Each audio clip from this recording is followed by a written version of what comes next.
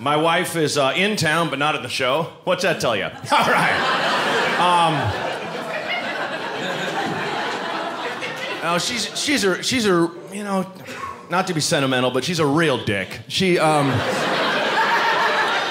no, I love her. I mean, I think you need that in your life as a man. You need a hilarious asshole, not a jerk. My wife is a hilarious asshole. Like I realized that recently. Guys, you remember that dude you grew up with that would flick you in the nuts and you would laugh? Does that make any sense? You're like, look, why did I laugh? You just flicked my balls. I married that guy. I married him. She just says mean shit that makes me laugh. Like, don't get me wrong, she's wonderful and loving, but occasionally she just gets a just gets a stick in that's so good. God, she's the first woman to ever call me bro. Like, I don't know why that burns, but it does. You know? Like, ladies, if you want to piss a dude off who's an asshole and he's like yelling at you or something, wait till he's done. Just be like, what else, bro? Like, it'll just sting. and she picked the right time to say it, too. I was like, hey, we got like a half an hour until we go to that party. Want to have sex? She's like, on my period. Sorry, bro. Ha-ha! It's like a good hard left. I did not see coming. We were having dinner with another couple that I didn't know. I'd met them that night. And they're like, So you guys gonna have kids? Or my wife's just like, I don't know, looking at me. Kinda want a kid with a chin. I'm sitting right here. I'm right here. You vicious asshole. God, I love you. My name is Matt Braunger. She calls me Fat Donger. That's for real. and in public, just out, just to see how people react.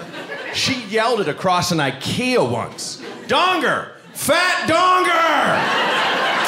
This guy next to me is like, Your name is Fat Donger? Like, uh huh, and just walk away. Just let the legend grow. And they say marriage is about compromise. I don't know. I think it's more about you know, maybe learning to love what you hate. Is that the same? Different? Because my wife is a Patriots fan. And hear that? Hear that? You guys are Hatfields and McCoys. It's always like a couple woos and a couple muttering, yeah, fuck that. they are polarizing. I don't care, you know? I don't hate them. I just grew up in Portland, Oregon. We have a basketball team. The end. and a soccer team. But does it count? I'm trying, but I don't know. Like Portland couldn't handle a football team. You understand? We're too soft. One injury would be like, we're done. Call it off. We're done. He's hurt. Enough of the madness. Let's get high and drink craft beers and talk about our feelings. I can't. I can't. I can't anymore. I can't go to work this week. I'm, I'm hurt. Not as bad as him, but I, I feel his pain. I don't know. Like, she's a Pats fan. If I say that she's a Pats fan when I'm in Boston, I don't pay for a drink the rest of the night. Anywhere else, it's like I showed my belly and there's a swastika like carved with a knife. Boo! It's a football team. Relax.